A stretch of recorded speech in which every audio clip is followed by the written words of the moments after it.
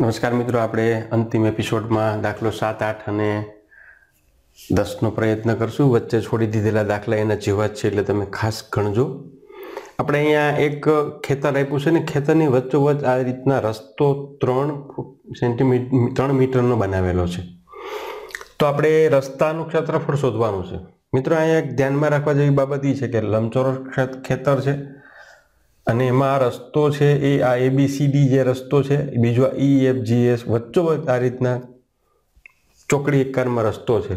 આનું ક્ષેત્રફળ મેળવવું તો આટલો ભાગ એવો છે કે જેમાં બેમાં સેમ આવે. એટલે આનું ક્ષેત્રફળની જરૂર ન પડે. આ એટલું ક્ષેત્રફળ આ ક્ષેત્રફળ બે છે, એમાંથી આ એટલું કાઢી નાખવાનું. કારણ કે એમાં એ આની અંદર આ ક્ષેત્રફળમાં આપમાં આવી ગયું એટલે આનાથી કાઢી નાખીએ. તો આ એટલું ક્ષેત્રફળ આપણે બાદ કરવું પડે એટલે રસ્તાનું ક્ષેત્રફળ આપણને મળે. આ યાદ રાખવાનું છે. તો એક તો એબીસીડીનું ક્ષેત્રફળ મેળવવું હોય તો આપણને ખબર છે કે રસ્તો છે એ આ લંબાઈ છે એ જો આમ. તો એબીસીડીમાં તો એ નેવું ગુણ્યા સિત્તેર. આમાં નેવું ને સીધમાં એને ગુણ્યા ત્રણ ફૂટનો રસ્તો, નેવું ગુણ્યા લંબાઈ ગુણ્યા પહોળાઈ થાય, બસો સિત્તેર. પછી જીએફએસનું જોવું તો એમાં સાઠ છે પહોળાઈ, તો સાઠ ગુણ્યા ત્રણ કરોડ છ તેરીને અઢાર. હવે આઈ જે કે એલ, આ એટલું છે, તો દસ દસ ત્રણ ત્રણ પોળો છે રસ્તો, આ ત્રણ આને, એટલે ત્રણ તેરી નવ થયું. કુલ રસ્તાનું ક્ષેત્રફળ મેળવવું હોય તો આપણે, તો આખે આખું જે ક્ષેત્રફળ મેળવ્યું છે આપણી પાસે, એ ક્ષેત્રફળની અંદર આ બંને એડ કરીએ, નવ બાદ કરીએ, એટલે નવસો પચાસમાંથી બસો સિત્તેર વત્તા એકસો એંસી એટલે નવસો પચાસ, અને એમાંથી નવ બાદ કરો. એટલે ચારસો ને એકતાલીસ મીટર સ્ક્વેર આપણને ક્ષેત્રફળ મળે. હવે એનો ખર્ચ કહી દીધો કે એક મીટર સ્ક્વેર બરાબર રૂપિયા એકસો દસ થાય. તો આ રસ્તો બનાવવાનો ખર્ચો કેટલો થાય? એટલે એકસો એકતાલીસ. ગુણ્યા આપણે એકસો દસ આપણે કરવા પડે.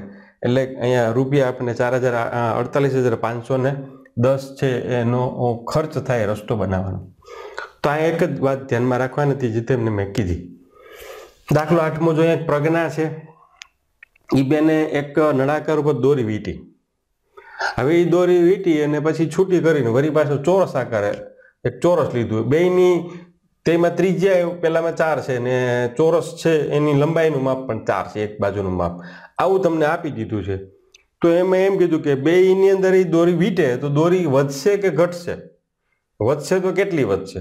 આવો એક જવાબ છે. એટલે નળાકારને ફરતે એ દોરી વીટી, ચાર સેન્ટીમીટરની ત્રિજ્યા છે. તો આપણે પહેલાં નળાકારનું શું મેળવવું જોઈએ? તો કે એનો પરિઘ મેળવવો જોઈએ. તો નળાકારનો પરિઘ છે, પાઇપ છે, એનો પરિઘ છે, ટુ પાય આર છે. ટુ પાય એટલે ટુ. અહીંયા પાયની કિંમત ત્રણ પોઈન્ટ ચૌદ લેવાની છે, એ ગુણ આઠ ગુણ્યા ચાર દુ આઠ આઠ ગુણ્યા ત્રણ પોઈન્ટ ચૌદ કરી એટલે પચીસ પોઈન્ટ બાર છે એ આપણને મળે સેન્ટીમીટર. હવે ચોરસની પરિમિતિ શોધવી તો ચાર ગુણ્યા ચાર, કારણ કે ચોરસ એ દોરી છે એમાં વીટે, તો ચાર ગુણ્યા ચાર થાય. એટલે સોળ સેન્ટીમીટર દોરી જોઈએ. હવે આ પચીસ થઈ, આ સોળ થઈ, તો આ વધારે થઈ કે નહીં? તો કેટલી વધારે થઈ? પચીસમાંથી સોળ બાદ કરીએ, એટલે તફાવત મળે. તો એ બેન પ્રજ્ઞા પાસે નવ પોઈન્ટ સોળ સેન્ટીમીટર દોરી વધે. દસમો દાખલો છે આકૃતિ આપી, એમાં ત્રણ જોઈએ તો આકૃતિમાં આ ભાગ છે, રેખાંકિત ભાગ છે, આ ભાગ છે, આખે આખો. આવી રીતનો રેખાંકિત ભાગ છે. આ ભાગ જે આપણે આખા આખો છે, એ ભાગનું આપણે ક્ષેત્રફળ શોધવાનું છે. તો કેવી રીતે ક્ષેત્રફળ શોધીએ આપણે? એ આપણે અહીંયા કહેવાનું છે. તો એમની અંદર લંબાઈ પહોળાઈ આપણને આપી દીધી છે. તો અહીંયા ત્રણ ત્રિકોણ બને. એક આ ત્રિકોણ બને, એક આ બીજું ત્રિકોણ બને, અને આ એક ભાગ બને. ત્રણ ભાગથી એક આખે આખું લંબચોરસ તૈયાર થાય છે. તો અહીંયા પહેલાં એ એફ ઈ આ ત્રણેયની વાત મેં કરી દીધી. ત્રણેયને આપણે પ્લસ કરીએ તો ત્રણ ભાગ એના બેના પહેલા ભાગનો આપણે ઈ બી ભાગ જે લીધો ઈ બી સી આ એટલું, એનું ક્ષેત્રફળ મેળવીએ.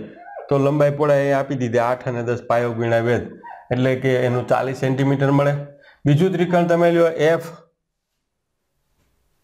A B F E B F A E અથવા ઈ એફ એ આનું લેશો તો એક દૂતાંશ પાયો ગુણ્યા વેદ એમાં પણ દસ અને છ છે. તો દસ ગુણ્યા છ ભાંગ્યા બે એટલે ત્રણ દાન ત્રીસ. ત્રીસ સેન્ટીમીટર સ્ક્વેર મળશે. હવે તમારી પાસે આ એબીસીડી લંબચોરસ છે એનું ક્ષેત્રફળ શોધી લો એ તો ખબર છે કે દસ ગુણ્યા અઢાર છે, લંબાઈ ગુણ્યા છે, એકસો એંસી થશે. લંબાઈ પહોળાઈ કરતાં એનું ક્ષેત્રફળ એકસો એંસી થશે. હવે ઈએફ સીડી આ ઈએફ સીડી છે, આ એટલું માપ જે છે એ મેળવવું હોય તો આખું જે છે એમાંથી આ બે કટકા બાદ કરીએ, એટલો માપ મળે. તો આખું માપ આપણને મળી ગયું છે એકસો એંસી.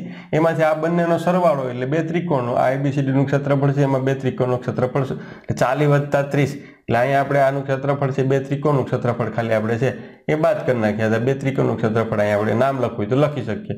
એ બંનેને બાદ કરીએ એટલે બાદ કર્યું. ત્રીસ ચાલીસ. એનો સરવાળો સિત્તેર થાય એટલે એકસો એંસીમાંથી સિત્તેર બાદ કરો એટલે એકસો ને દસ. સેન્ટીમીટર સ્ક્વેર છે. એ આ અંદરનું જે ભાગ, રેખાંકિત ભાગ છે એનો થાય. આમાં પણ આ એક રેખાંકિત ભાગ છે. આ ભાગનું આપણે ક્ષેત્રફળ શોધવું છે. તો શું થશે? તો તમારી પાસે એક, બે ને ત્રણ ત્રિકોણ છે ને આ લંબચોરસ છે. ત્રણ ત્રિકોણની બાદ કરો. ચોથું ત્રિકોણ ચાર ભાગ બને છે. તો પહેલાં તમારે એસટીયુ જે છે એનું ક્ષેત્રફળ મેળવવું હોય તો એસટીયુ આનું મળશે. તો એ મેળવી લઈએ તો અહીંયા ભાગ દસ દસ આપ્યું છે. એટલે એના ભાઈ બે કરો પચાસ મળશે. બીજું ટીપી ક્યુ ટી તમારી પાસે જે પી ક્યુ આ ક્ષેત્રફળ મેળવો તો એ પણ લંબાઈને પહોળાઈ આપી દીધી છે આપણને પાંચ અને વીસ, તો એ સો સાથે. પછી ક્યુ આર ટી આ આ મળી લ્યો એટલે વીસ અને દસનો સવાલ છે અહીંયા, તો અહીંયા એ જવાબ પણ તમને સીધે સીધો મળી જાય. એ પણ સો મળશે કે એક દ્વિતીયાંશ પાયો ગણ્યા વેદ જ કરવાનું ત્રિકોણનું ક્ષેત્રફળ. ત્રણ માપ મળી ગયા. આખું મેન છે એ પી ક્યુ આર એસ છે. તો કે એનું ક્ષેત્રફળ કેટલું છે?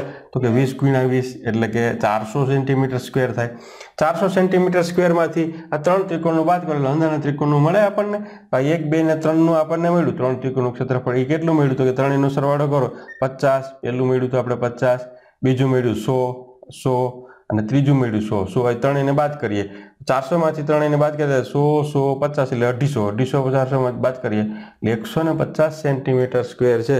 એ અંદરનું જે ત્રિકોણ છે, T, P, Q T, Q, U, એનું ક્ષેત્રફળ આપણને મળે. ત્યારે તેઓ બધા દાખલાઓ ગણી શકાય. આ સ્વાધ્યાય આપણે પૂર્ણ કરીએ છીએ, અંતિમ દાખલો આપણે બીજો છે એ તમે હોમવર્કમાં કરજો. વધુ દાખલા જોવા માટે અમારી યુટ્યુબ ચેનલ ઉપર જાઓ સબસ્ક્રાઈબ કરી લાઇક કરી અને ખાસ મિત્રો ગમે તો કોમેન્ટ કરો અને તમારા જેવા મિત્રોને અવશ્ય શેર કરો, જેથી કરીને તે પણ આવી રીતના વર્ગ છે એનો લાભ લઈ શકે. આભાર.